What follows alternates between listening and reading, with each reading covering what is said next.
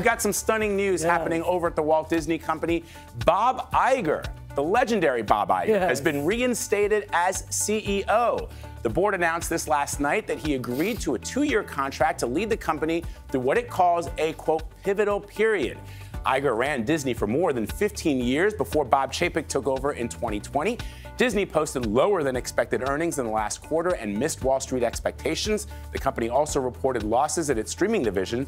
Shares of Disney have fallen about 41% so far this year. Iger, who is 71, said he was thrilled to return and extremely optimistic about Disney's future. What's going on but, but he also said that, you know, this is an unexpected turn of events. Right. Even for him. I know people that talked to him over the weekend and last week. Yeah. Were close to him and had no idea that this No idea this was going on. Uh, back in 2020, he was asked several times. He was here on the yeah, show. Yeah, yes. And, and yes. asked in multiple interviews, would you ever go back to Disney? I think in an interview he did with Kara Swisher, he said, absolutely not. You can yes. never go home. Never go yeah. home. You know, you can never go home again, right? Um, and he was very happy with his life after Disney, too. Well, there's that. But also that he was, first of all, remember that Bob Chapek was somebody that he had a hand in choosing. Yes. Yeah. He did have a hand in choosing that. And I want to quote from uh, Matt Belloni at Puck who wrote this. It's not one specific thing. From the early political misjudgments in Florida to an unpopular and arguably destructive reorganization, from the lack of engagement with the creative community to last week's earning debacle, these are some of the things that the board was thinking about. Uh, and it's sort of like, remember in Dallas when they bought back Bobby Ewing?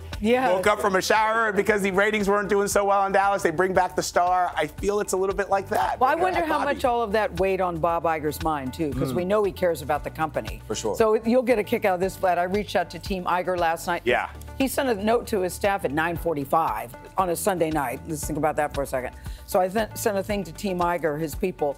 Would he like to come on CBS Mornings and explain to us? Yes, we would love to we hear. We would love to have it. crickets. I mean, of course, I knew that wasn't Jiminy crickets. Yeah. yeah, Jiminy crickets to you, Gayle. Well, so, I can't wait to hear to the backstory. A lot of the actors um, on Twitter are sort of like clapping and applauding this yeah. move, so it'll be very I interesting. Don't know anybody a lot of people say he's not going to put his legacy at risk unless there's something really big that he's cooking up. Ah. So stay tuned for that. Ah. We don't know, but okay. could be. Yeah.